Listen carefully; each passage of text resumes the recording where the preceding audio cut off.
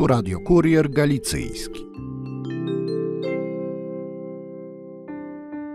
Dzień dobry Państwu. Witamy ze studia Radio Kurier Galicyjski przy mikrofonie Anna Gordijewska i dziś gościmy pana Stanisława Łukasiewicza, który przyjechał z Poznania. Dzień dobry, witam pana serdecznie. Dzień dobry, witam. Przyjechał pan z Poznania, ale tak naprawdę jest pan nasz, jest pan lwowiakiem, lwowiakiem z Kołomyi, czy nie mylę się? Tak, zgadza się.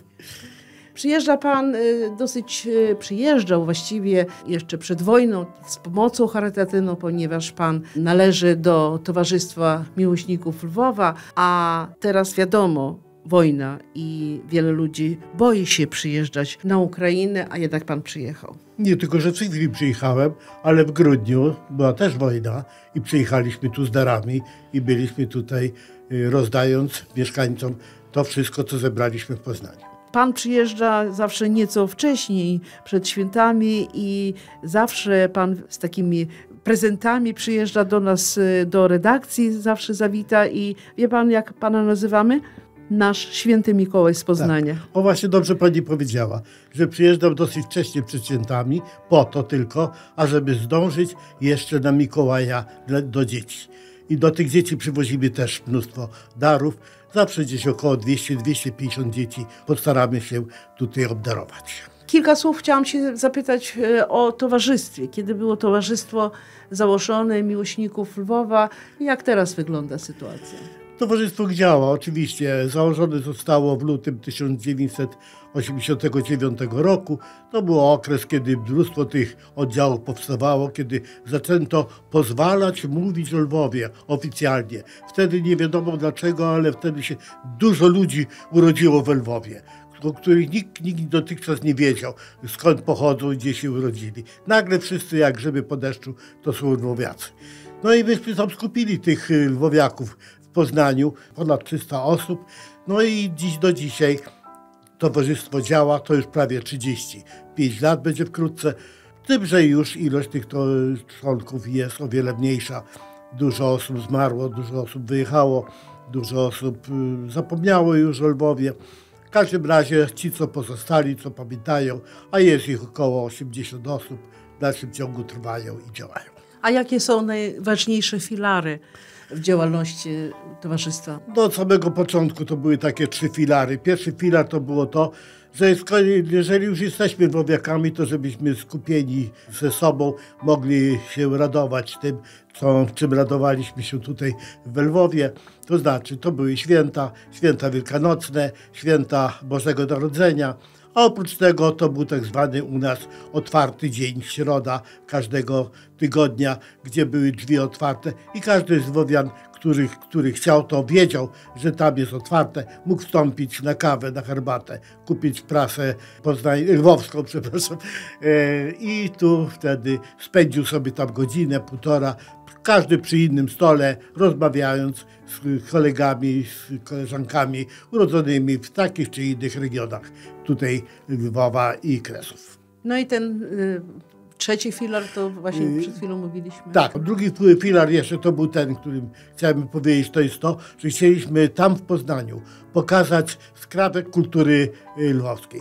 A zatem organizowaliśmy takie dni Lwowa, które rozciągały się prawie na cały okres roku, bo to były piknik lwowski na wiosnę, to były y, obchody i pamięć o Wołyniu w lipcu, to było pamięć o y, 17 września i również zakończenie Dni Kultury Kresowej, Dzień Pamięci Kresowej, tak by się nazywał. I wtedy kończyliśmy te dni, organizując wiele takich imprez bardzo bliskich naszym członkom towarzystwa, jak i również z tego cieszyli się i mieszkańcy Lwowa. Tu Radio Kurier Galicyjski. Co macie w planach na ten rok? No, te- Na tym roku oprócz tych tradycyjnych imprez i, i, i działań, które są normalne i już stałe, to przewidzieliśmy dwie takie imprezy, między innymi właśnie z inicjatywy pani prezes Kwineckiej Katarzyny. Chcemy zorganizować bal lwowski, który odbędzie się 18 listopada, jak również druga impreza charytatywna, to jest piknik charytatywny, który się odbędzie na początku roku szkolnego, bądź jeszcze w czerwcu, tu jeszcze nie jest powiedziane, w którym to będzie okresie. Czyli działacie nadal, a czy w te środy spotykacie się nadal? Tak, środa każda jest zawsze otwarta. Mało tego, tam każdy przychodzi, może przyjść każdy członek i na przykład zorganizować sobie tam urodziny, imieniny, czy jakąś inną uroczystość i wtedy w całym zamku, bo to jest y, zamek, taki y, centralny punkt miasta Poznania, w którym wtedy słyszą 100 lat śpiewane danemu jubilatowi. E, Kiedyś, kiedy z panem rozmawiałam, pan powiedział najpierw herbata, a później, czy kawa i herbata, a później kurier galicyjski. Tak. Czyli wiemy, że otrzymujecie naszą gazetę. Jednak to papierowe wydanie, wiele osób jest przyzwyczajonych. Bezwzględnie, bezwzględnie. Ja też nie uznaję tego online, czy jak to się tam nazywa w tej chwili. Y, Także tylko papierowy muszę mieć przed, sobą. I y, oprócz tego, prawda, jest ten Semper Fidelis wydawany we Wrocławiu, u Krakowie Leopolis, czy na rubieży, który wydaje ta organizacja piętnowania y, organizacji nacjonalistycznych działań ukraińskich. Chciałabym się troszeczkę więcej dowiedzieć o panu. Pan ma takie ciekawe nazwisko Łukasiewicz, a my znamy Ignacego Łukasiewicza. Czy jesteście spokrewnieni? Nie. Z tego drzewa genealogicznego Ignacego Łukasiewicza ni- absolutnie nie znajduje się. Natomiast w życiu naszym drogi się skrzyżowały.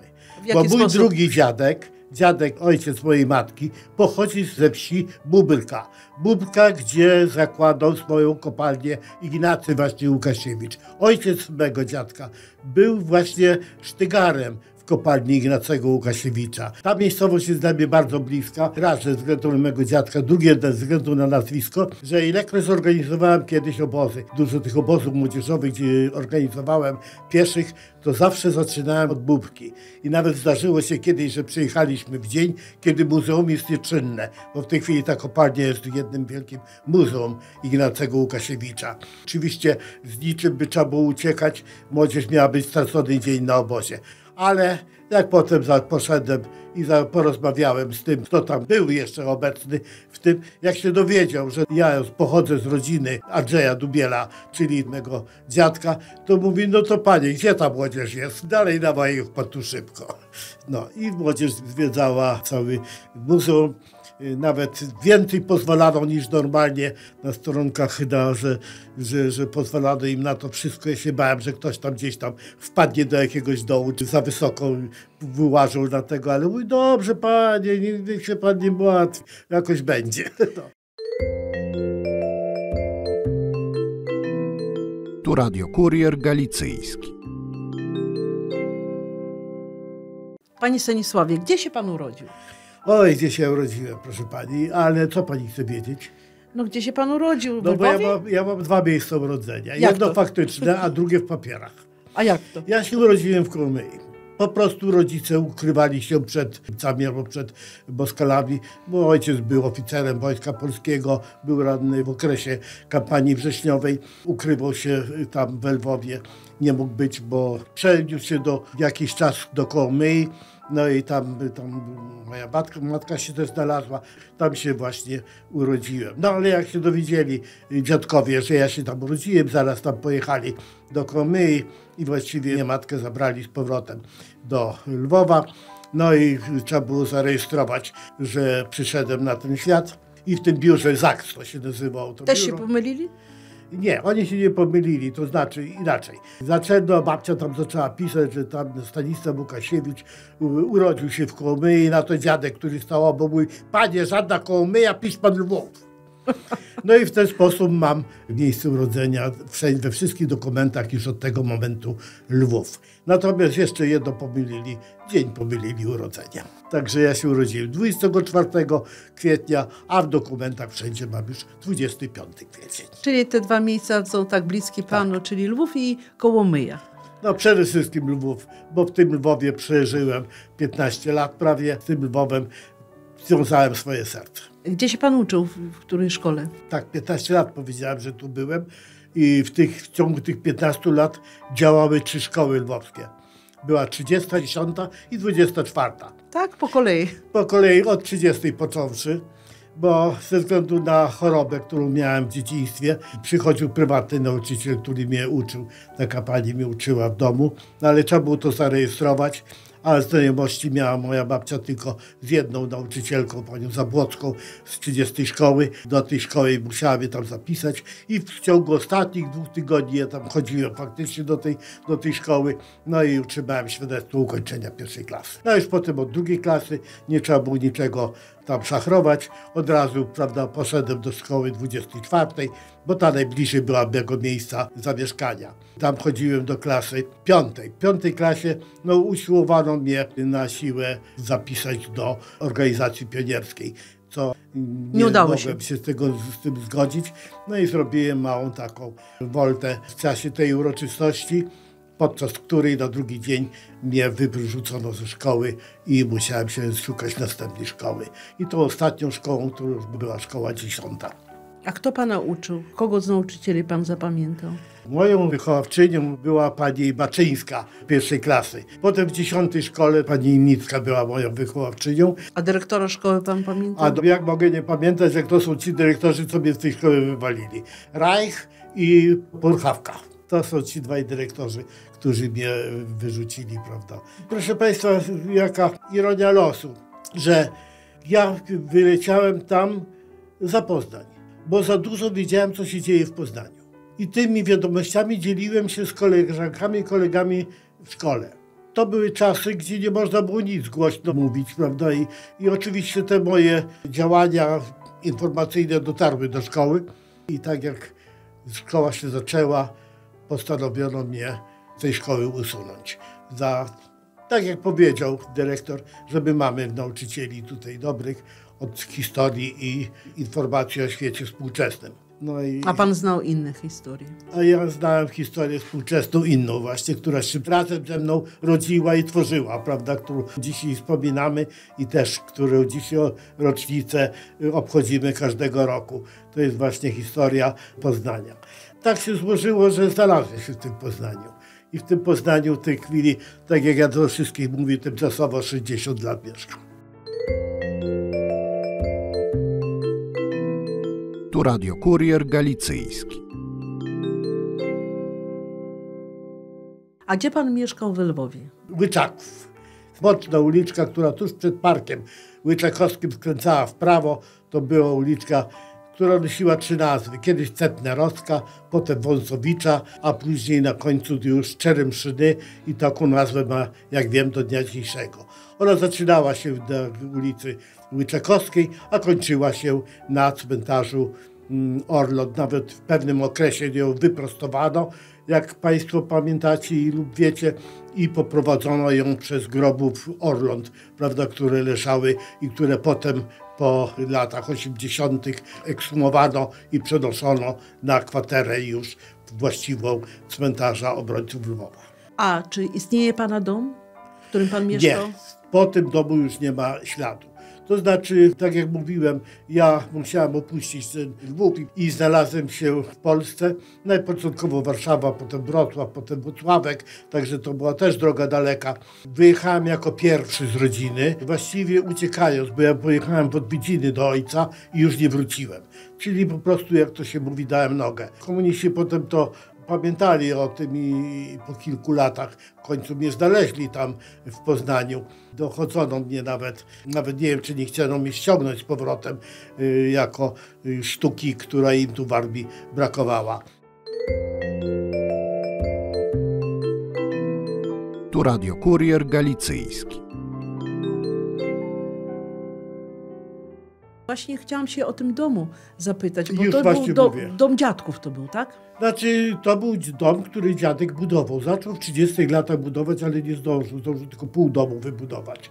Drugą połówkę miał budować dalej, ale przeszkodziła wojna. No a potem już wiadomo, aresztowanie. Dziadek był ponad pół roku w więzieniu, ale potem go szybko zwolniono, gdyż potrzebne były świece, a on miał fabrykę świec. I w związku z to powodowało, że wysunięto tego więzienia i osadzono go jako naczelnika już radzieckiego cechu y, państwowego y, świec właśnie tam w Lwowie. I do 50 roku, do dnia śmierci, prawda, w kwietniu 50 roku on tą fabrykę prowadził. Jak zawsze produkcja była i państwowa, i prywatna. W ramach tej prywatnej zaopatrywał wszystkie kościoły, świece, grobnice i inne, które były potrzebne tutaj w Lwowie. A co w tym miejscu się teraz znajduje? W tej chwili nie wiem, bo już to jest okres, w którym ja się bałem przyjeżdżać tutaj i nie jeździłem tak szybko. Dopiero w 1988 roku po raz pierwszy się znalazłem w Lwowie od momentu wyjazdu w 1956. Jak już przyjechałem tutaj, już stały bloki. Już na tym miejscu i sąsiednia działka Paraziębowicza y, już to y, dwa czy trzy bloki. A jak pan to ulicę Łyczakowską słynną zapamiętał? Bo to właściwie, no, No. na pewno pan y, ze swojej ulicy tej Centerowskiej wychodził na Łyczakowską, Na a tutaj oczywiście. tyle wspaniałych lwowiaków mieszkało. Zresztą ja nie przez ulicę szedłem, tylko zaraz obok domu były niezagospodarowane działki, a na dole było takie przejście, że się wychodziło ledwo z tego zaraz przez takie górki, pagórki. Zimą one były świetne na jazdę sankami. To tam właśnie wychodziłem bezpośrednio na ulicę Wyczekowską. Nie musiałem iść ani ulicą Setnerowską, ani ulicą Dobrzeńskiego, która równoległa była niżej. I tam już miałem zaraz przystanek tramwajowy do szkoły. Natomiast ulica Łyczakowska, no to było serce tego Lwowa. I właściwie to był cały Lwów, który ja pamiętam. Mnie, nigdy nie, nie byłem na żadnych takich dzielnicach jak Kleparów tam, czy, czy inne, Zamarszynów. To są, te ulice były dla mnie y, tylko z opowieści znane. Natomiast moją to było, była jednak tylko ulica Łyczaków. No i później y, ta dzielnica, na której mieści się Kościół Świętej Marii Magdaleny i szkoła numer 10. Tu Radio Kurier Galicyjski. Czy przyjeżdżając do Lwowa odbywa pan sentymentalne spacery po Lwowie? No oczywiście, że tak. I nie zapomnę tego pierwszego spaceru, który był, miał miejsce w 1988 roku. Jeszcze nikt tu nie myślał o tym, że będzie można mówić o Lwowie, ale już takie wprowadzili pozwolenie, że można odwiedzić, y, przyjechać do Lwowa na zaproszenie tego, który leży na cmentarzu, czyli na odwiedzenie grobu. No i moja mama skorzystała z tego zaproszenia, bo tylko najbliższa rodzina to mogła zrobić, mama, syn, matka. No i skorzystała z tego dobrodziejstwa i przyjechała po raz pierwszy w 1988 roku, ponieważ była osobą bardzo słabym wzrokiem, ja służyłem jej jako przewodnik i też mogłem dzięki temu razem z mamą przyjechać. No mama swoja jak usiadła z koleżanką, to tam z nią przegadała całe dwa tygodnie, czy tam 10 dni tu była, a ja natomiast poświęciłem się tej całej y, wędrówce mojej po tych kątach, uliczkach, zaułkach, które znałem i pamiętałem z lat 50. No i w ten sposób między innymi wchodziłem do domu i pukałem, bo tu wiedziałem, że mieszka pani Tosia Czarna, bo tak ją nazywano w kościele świętego Antoniego, bo tam do niej zanosiłem często rzeczy, jak- jakieś akcesoria robię potrzebne podczas liturgii. Od niej się między innymi dowiedziałem, że mój katecheta, ksiądz Kwiatkowski Hieronim, który był dwukrotnie aresztowany za moich czasów na Syberię, to on mieszka w Rzymie. Co prawda, miałem z nim już kontakt, może przepraszam, że odchodzę może od tematu, ale to dla mnie jest bardzo ważna postać proszę mówić, i tak. historia. To jest człowiek, który mnie uczył religii, jak miałem 7-8 lat. On mnie przygotowywał do pierwszej komunii świętej. I z tego tytułu, między innymi, za tą działalność, bo to było robione w głębokim ukryciu w kościele świętego Antoniego, on został aresztowany i zesłany na Sybir. I ja wtedy przychodziłem na pocztę i zawsze przynosiłem dwie paczki. Jedna paczka dla mojej mamy, a druga dla mego katechety.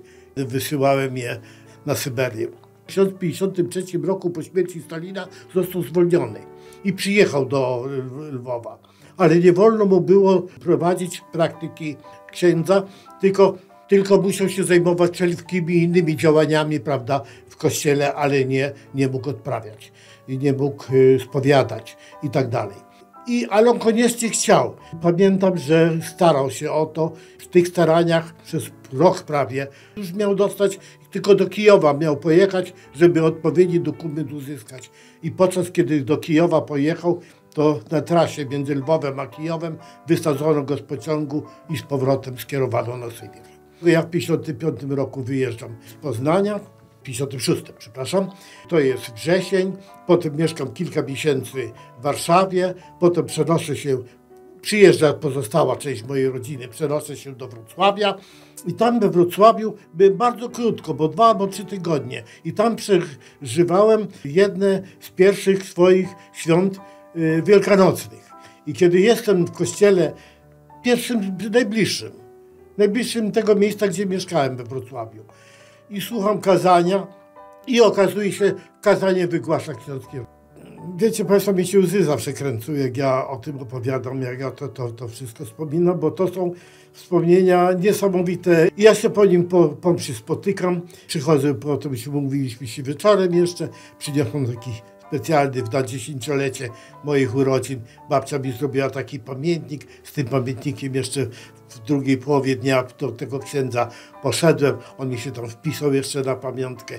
Ale później jakoś ślady po nim zagubiłem. I okazuje się, że w 1988 roku, dzięki właśnie tej pani, którą odwiedziłem w trakcie tych swoich spacerów po Lwowie, dowiedziałem się, że mieszka i dostałem adres, napisałem do niego i jeszcze zdążył mi przysłać jeden list, ale tak już pamiętał wszystko. Pamiętał. Dziękował mi tam nawet za te, co przy, przysyłałem mu na Syberii. Pamiętał, że tam gdzieś w ukryciu by, pra, byłem ministrantem, jak mszę świętą odprawiał. To wszystko w liście wspomina, ale jakoś potem się znowu nam y, kontakt urywa. Listy, listy, drugi list wysłany na święta wraca do mnie i znowu tracę kontakt. No i potem dowiedziałem się już, że niestety zmarł i już, że już nie żyje. Dziękuję bardzo i życzę Panu dużo zdrowia i oby starczyło jeszcze jak najwięcej sił przyjeżdżać do nas. Dziękuję bardzo i Wam wszystkim. To daj Wam Boże zdrowie. Dziękuję. Dziękuję.